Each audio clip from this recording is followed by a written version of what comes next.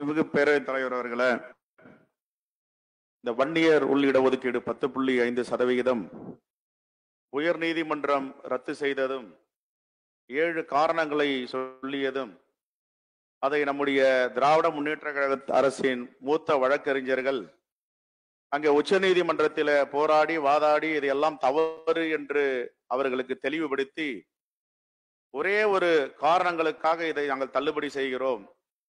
அந்த காரணங்கள் புள்ளி விவரங்கள் சரியாக நீதிமன்றத்துக்கு அளிக்கவில்லை.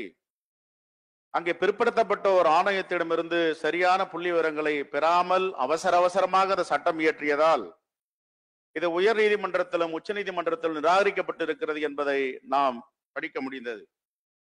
குறிப்பாக உச்ச நீதிமன்ற தீர்ப்பில எழுபத்தி ஏழாவது பேராவில சொல்லுகிறது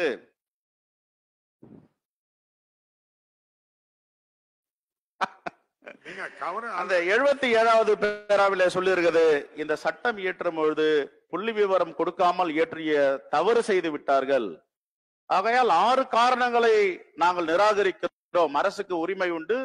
பிற்படுத்தப்பட்ட சாதிகளுக்கு இடஒதுக்கீடு அளிப்பதற்கு சமூக நீதியின் அடிப்படையில மாநில அரசிற்கு எல்லா உரிமையும் இருக்கிறது. ஆனால் இந்த புள்ளி விவரங்களை திரட்டி இதில் சரியாக இந்த சட்டத்தை இயற்றாததால் எழுபத்தி ஏழாவது பக்கத்தில அந்த பாராவில தெளிவாக உச்சநீதிமன்ற நீதியரசர்கள் இதை தள்ளுபடி செய்கிறோம் என்று காரணம் சொல்லி இருக்கிறார்கள் இது உச்சநீதிமன்ற தீர்ப்பு.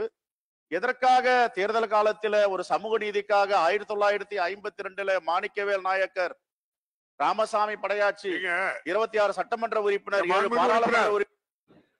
நீங்க அரசின் கவனத்தை ஈர்த்து அப்படி உட்காருங்க. சொல்றேங்க. நம்முடைய முதல்வருடைய நான்- நான் உச்சநீதிமன்ற தீர்ப்பை வந்து ஒரே ஒரு இடத்துல கோடிட்டு காட்டுறேன்.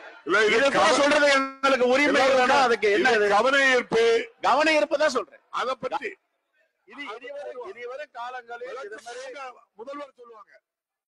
உட்காருங்க. கோவிந்தசாமி உட்காருங்க.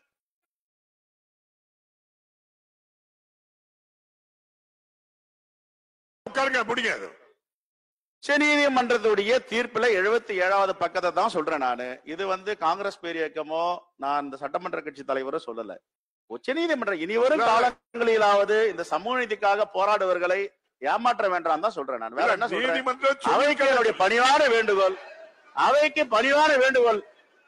இனிவரும் காலங்களில் சமூக நீதிக்காக போராடுகின்ற சமூகங்களையும் கட்சிகளையும் இப்படி ஏமாற்றம் அளிக்கும்படியாக நடந்து கொள்ள வேண்டாம். நீங்க நீங்க உட்காருங்க. உறுப்பினர் வேலுமணி அவர்கள்.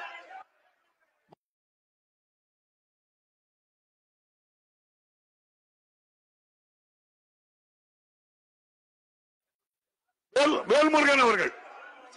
முடிச்சாச்சு போதும். கோவிந்தசாமி நீங்க உட்கார்ந்து நீங்க உங்களுக்கு மயக்கல மாண்புமிகு. நடவடிக்கை அது உறுப்பினரை நான் பேசிருக்கேன் நீங்க உட்காருங்க.